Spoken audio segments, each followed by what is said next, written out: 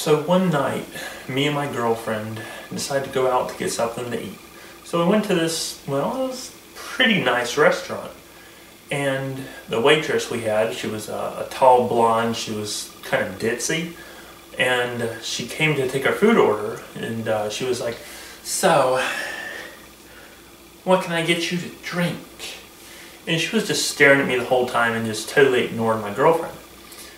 So what ended up happening um, was when she finally came to take our food order, she was like, "So, what can I get you to eat?"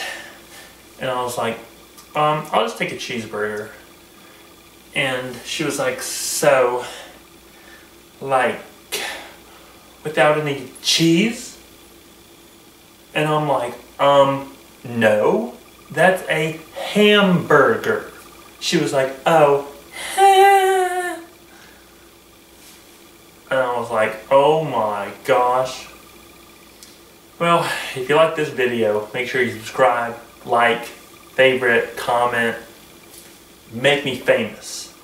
The more subscribers I get, the more videos I'll put out, and the more entertaining your day will be. Thanks for watching.